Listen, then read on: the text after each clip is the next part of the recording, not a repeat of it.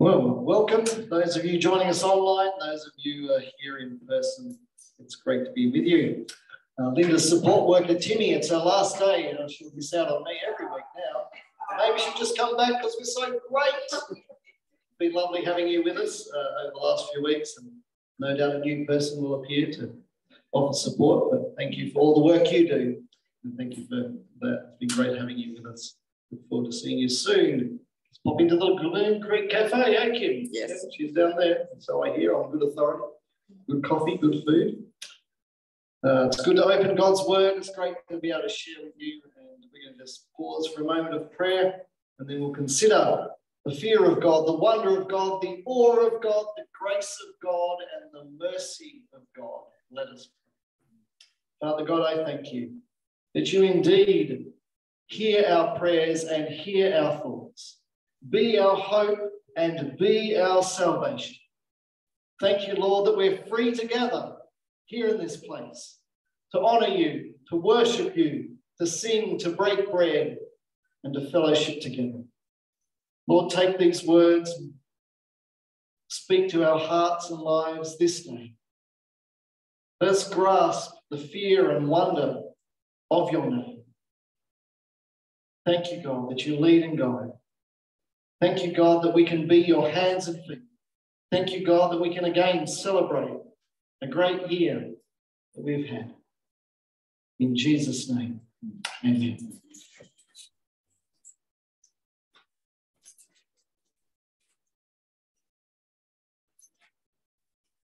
Don't miss the fear of God, the wonder of God, the wow, God, mighty and eternal. Proverbs chapter 9 encourages us the fear of the Lord is the beginning of wisdom, and the knowledge of the Holy One is understanding.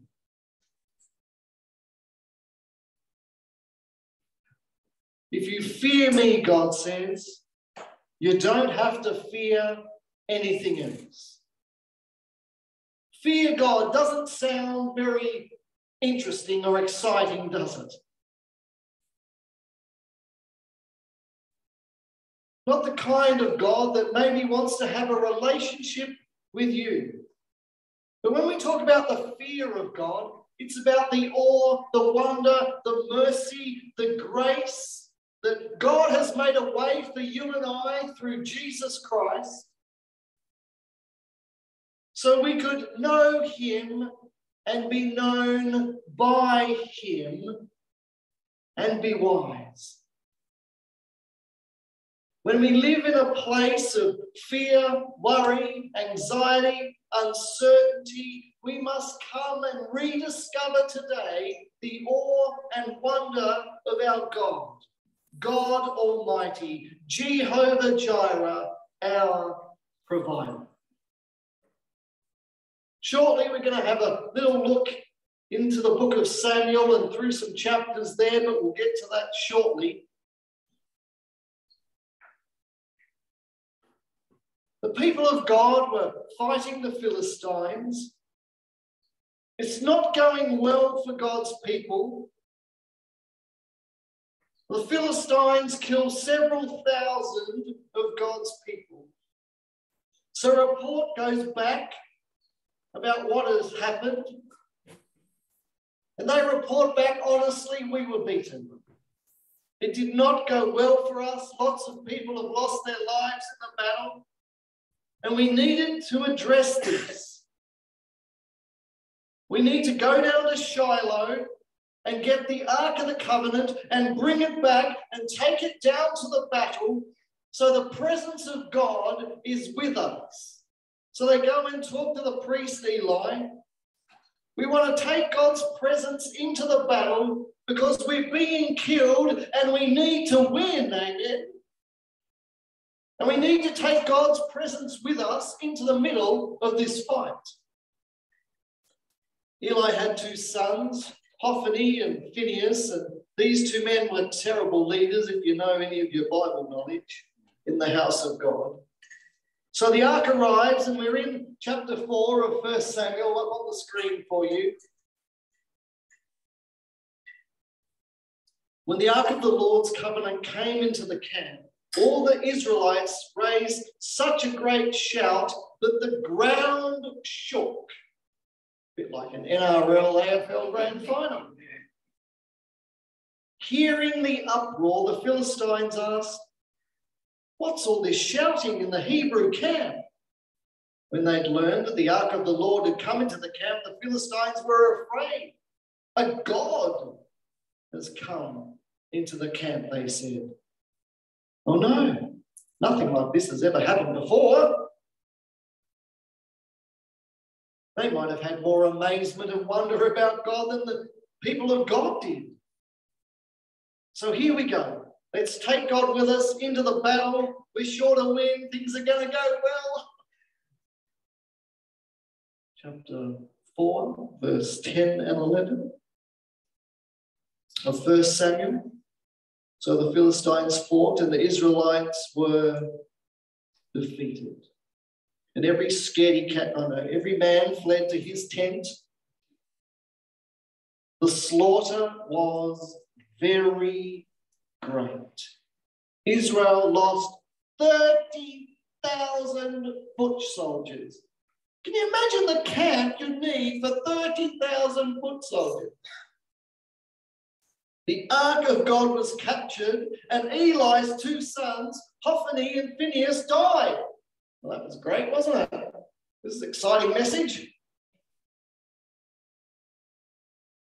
So a man sets off, he heads down to Shiloh, he finds Eli, who's quite old, he's losing his sight, he's sitting by side the roadside. He's looking down this road where they've taken the ark in the presence of God, and he's about to find out that his two sons have died. It's verse 13 of Samuel 4. When he arrived, there was Eli sitting on his chair by the side of the road, watching because his heart feared for the ark of God. When the man entered the town and told what had happened, the whole town set up a cry. His heart feared for the ark of God. Eli still had a sense and a wonder and an awe of the Almighty. The news was too great, too shocking. So many dead. The ark is lost. His, his sons had died. Verse 18, when he mentioned the ark of God, Eli fell backwards off his chair by the side of the gate. His neck was broken and he died. Well, he was an old man and he was heavy. I love that bit. I love God's word. I laughed about that. Sorry. It led the people of Israel for 40 years. Getting a bit of a death toll here, getting a bit of a list.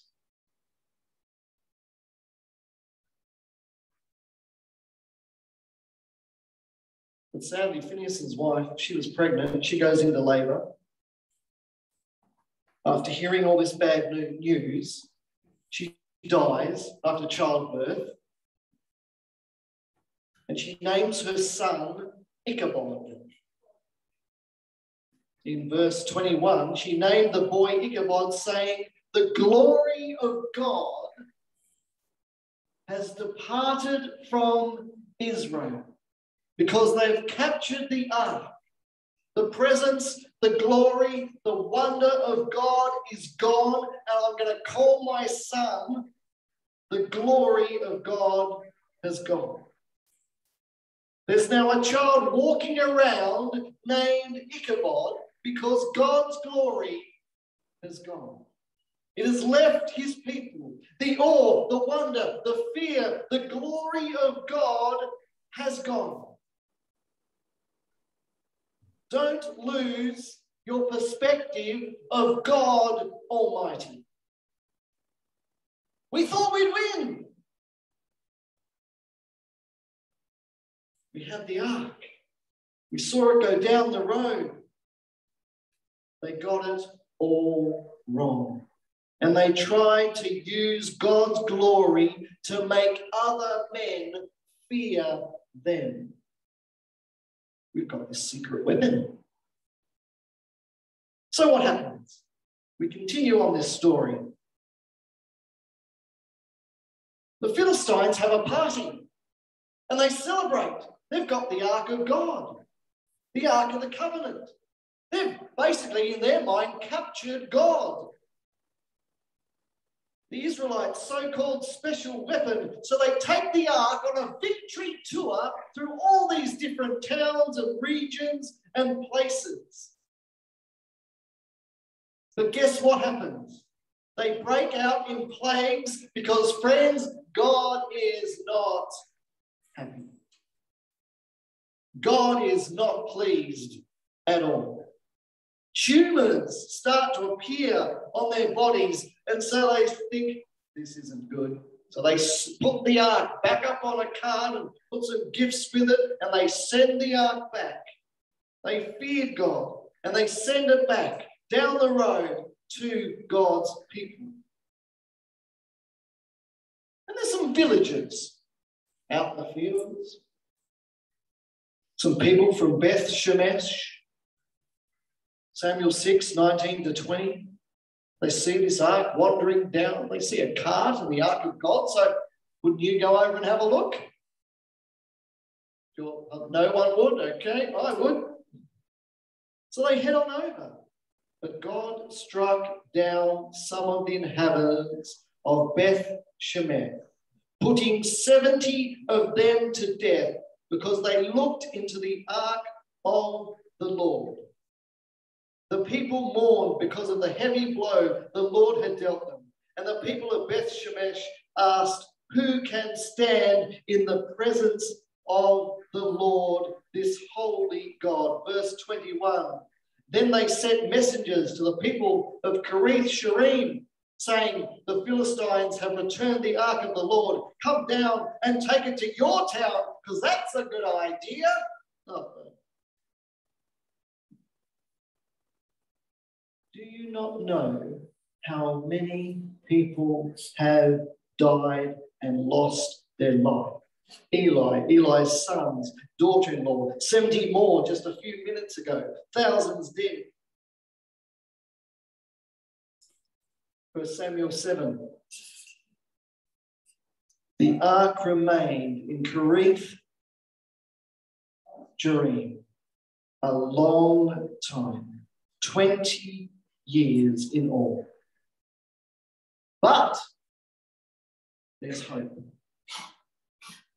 Then all the people of Israel turned back to God, our God of wonders, our God of mercy, our God of awe and grace, who said, Fear me and gain wisdom. And Samuel steps in and he says, Get rid of all your idols Get rid of all the things that you've been doing and worshiping foreign gods. And if you're true, if your heart is pure, return to the Lord. Turn your heart again to Him. Turn faithfully, all of your heart, to the Lord. Where do we stand today here in this place? that some of us need to return to the Lord with all our heart and all our mind and all our strength. What needs to die in our life so God can raise it to life? Don't be a God plus Christian and tack things onto your life.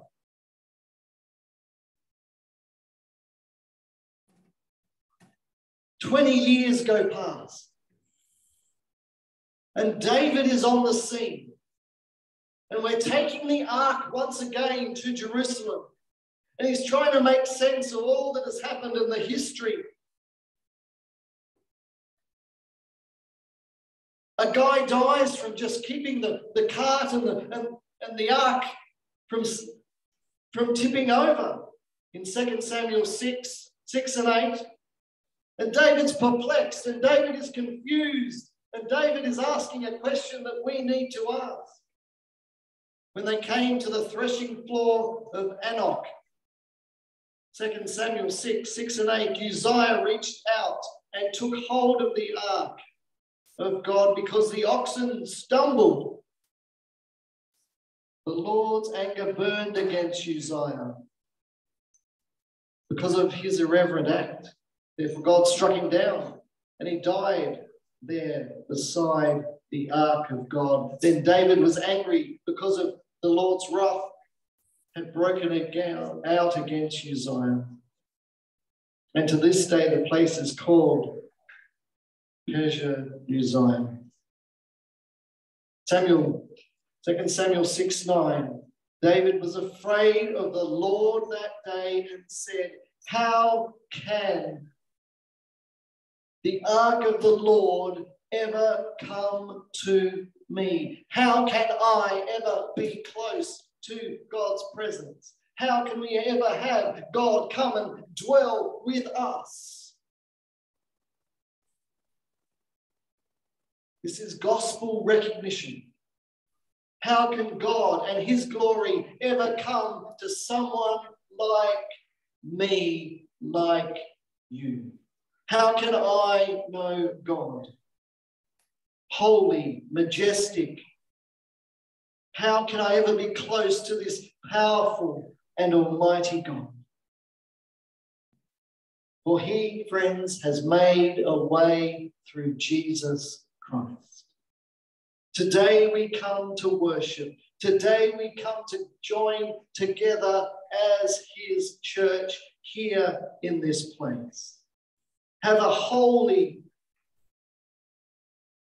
awe and wonder of our Almighty God, who at times seems unattainable and at times does things that are perplexing. And other times welcomes children and the widow and the orphan and says, Come, come to me, if you are hungry. Come to me if you are broken. Come to me if you are hurting and find healing and restoration for your soul. Come to me. Who calls you and I to be holy and blameless and to get rid of all those things that will distract and all those things we tack on to our faith. The problem wasn't with the ark. The problem was with the heart. Have a healthy fear of God. Have a reverence. Have an awe of Him. Don't get too comfortable with God.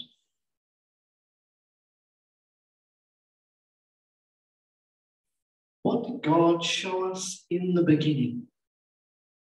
What have we forgotten and changed to, to suit ourselves? Friends, the ark was supposed to be carried on poles that went through golden rings on the side, not on carts. Don't get trapped with a good idea that's not from God. Don't get distracted by other people's flashy carts. For God gives you and I the best You and me. The best way. Carry God's presence with you every day. Give thanks for Jesus for all that he's done. Yesterday, today, and tomorrow. Worship him, honor him, give him thanks and praise. Psalm 66, as we finish this morning. Shout for joy to God, all the earth. Sing the glory of his name. Make his praise glorious. Say to God, How awesome are your deeds. And if you picked up our annual report, you can see how awesome are his deeds through faithful hands and faithful people. How awesome are your deeds. So great is your power that your enemies cringe before you. All the earth bows down to you. They sing praises to you.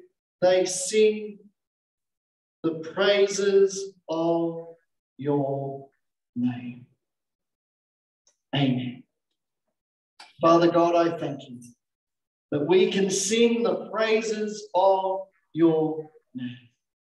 Lord, examine our hearts. Lord, call us back to you. Keep us on that path.